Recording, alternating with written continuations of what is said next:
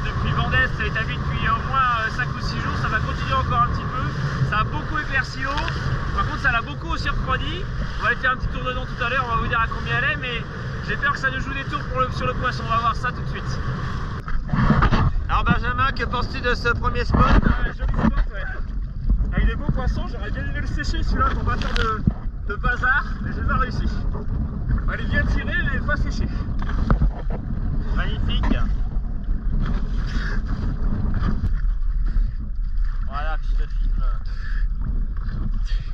Voilà, c'est super. Elle est pas magnifique. énorme, hein, mais bon. Très beau poisson.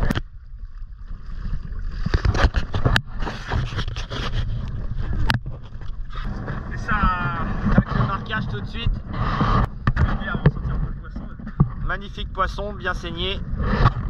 Alors, La cette tempéra- température de l'eau La température, la clarté, alors pour la température on est sur une eau assez fraîche, hein, on est sur du 17 degrés donc euh, bah, c'est conforme au vent d'est, hein, évidemment ça refroidit l'eau, pas très bon pour le poisson mais à la côte on arrive à trouver un petit peu, bon la, la clarté, la, la visibilité est très bonne, excellente même, Euh, et puis à la côte on a réussi à trouver un petit peu de poisson donc euh, voilà pour le 44 en ce moment, De l'eau euh, un peu sale. là on est dans l'eau un peu sale, Là, on a cherché un peu on va euh, chercher l'eau sale là, le sale.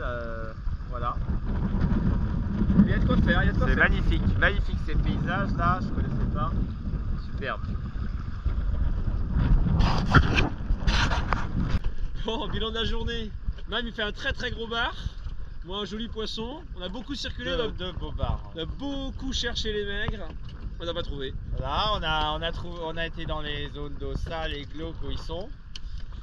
Ça n'a pas Euh, payé. Mais je pense qu'il y en a quand même parce qu'on a vu un pro qui est venu mettre euh, des palangres euh, là où on a cherché, donc c'est que ça doit pas pas mauvais. être mauvais, ouais. Bon, à la prochaine. À la prochaine.